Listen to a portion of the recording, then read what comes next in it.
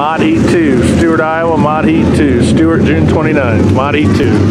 And J is Josh Cooper outside of Llewellyn. On the outside of Road 3, lights are down. He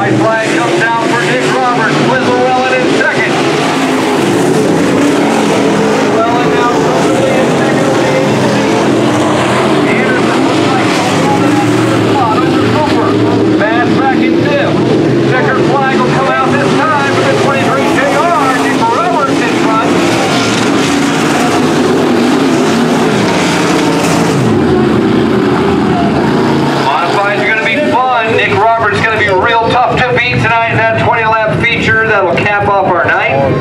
Third place in our final heat race goes to the 8C out of Fort Calhoun, Nebraska. That's Chad Anderson. Second place to Clint Llewellyn in the 3L. And the checkered flag for the 23